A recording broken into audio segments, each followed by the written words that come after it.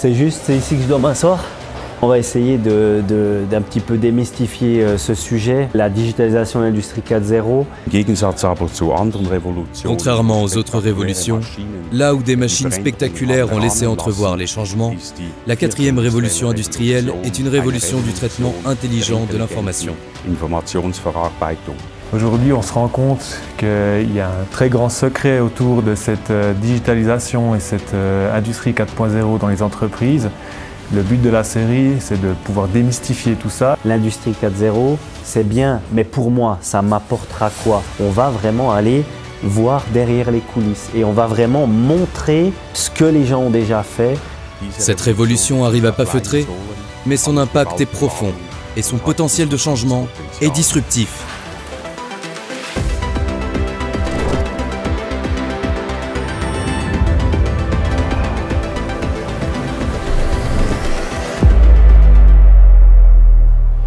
Bonjour et bienvenue dans notre web série The Secrets Behind Smart Factories.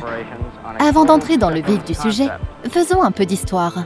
La première révolution date des années 1800, où on a utilisé la vapeur et la mécanisation de la production. Un peu plus tard, l'électrification a permis la production de masse grâce aux chaînes d'assemblage. C'est l'industrie 2.0. L'industrie 3.0 apparaît dans les années 70 grâce à l'informatique et l'électronique. Elle apporte une automatisation partielle, comme ce robot qui accomplit des tâches programmées. C'est pas possible aujourd'hui en une phrase de vulgariser l'industrie 4.0, ça vous apportera ceci. Pour beaucoup d'entreprises, l'industrie 4.0 n'est qu'un simple slogan marketing, mais rares sont celles capables de proposer de réels services performants qui y correspondent. Le grand public ne connaît pas vraiment l'industrie 4.0. Si on me pose la question euh, quel est mon travail, c'est toujours compliqué de formuler une, une phrase toute faite ou euh, d'expliquer exactement ce qu'on fait. Commençons à partir de l'industrie 3.0. Toutes les machines possèdent une forme d'automatisation grâce à l'électronique. Certaines données peuvent être mesurées ou même corrigées grâce à la communication entre les machines et les ordinateurs. C'est à partir de là que l'industrie 4.0 de base peut se développer. Avec ses fonctionnalités, elle peut vous montrer ce qui se passe sur vos chaînes de production. Il y a encore plus de possibilités comme la prédiction ou le closed loop par exemple. En récupérant les données, on peut commencer à les traiter, les agréger et ainsi générer de l'information. Ce sont les premières étapes du BI, Business Intelligence. L'industrie 4.0 permet à une entreprise de mesurer ses performances, d'illustrer de manière transparente ses réalisations, mais aussi d'analyser et d'observer les données collectées. Où est-ce que je me situe actuellement? Dans quelle mesure suis-je préparé? Et surtout, que dois-je faire pour atteindre mes objectifs?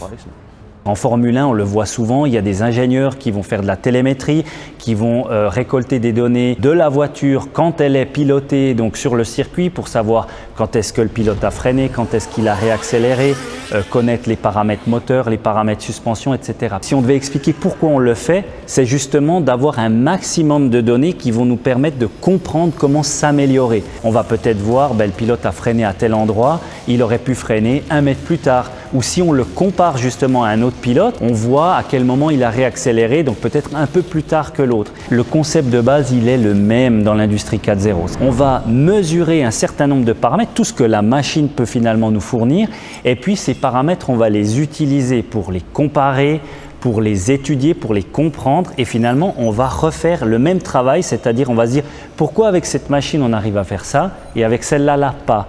Ou alors pourquoi est-ce que sur une ancienne production d'une pièce on a réussi à avoir une telle cadence et aujourd'hui on n'arrive pas à l'avoir? C'est exactement la même chose. La mesure de ces paramètres nous donne toutes les pistes pour pouvoir comprendre ce qui se passe et grâce à ça pouvoir entreprendre des mesures qui vont nous permettre d'améliorer. Fondé en 1877 en tant qu'atelier de taillage de lime, Brutschrüger Tools est aujourd'hui une entreprise internationale spécialisée dans le négoce et les services. Nous nous sommes toujours intéressés très tôt aux nouvelles technologies. La révolution digitale était la suite logique du développement avant-gardiste de notre portefeuille de prestations. Si on regarde dans le passé, Jamais nous n'aurions imaginé franchir certaines étapes dans notre devenir technologique. Il y a fort à parier qu'il en sera de même à l'avenir. Je ne crois pas que nous arrivons déjà aujourd'hui à imaginer tout ce que nous réaliserons dans le futur.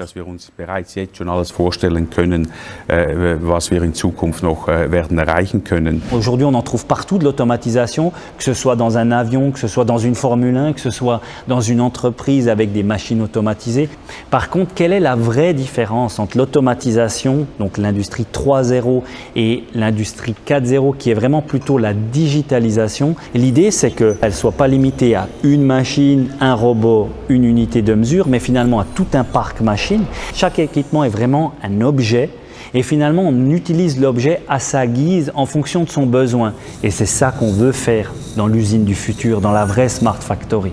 L'industrie 4.0 peut contribuer à optimiser le rendement non seulement d'une machine-outil, mais aussi de tout un parc de machines. En d'autres termes, à rendre inutile l'achat de nouvelles machines.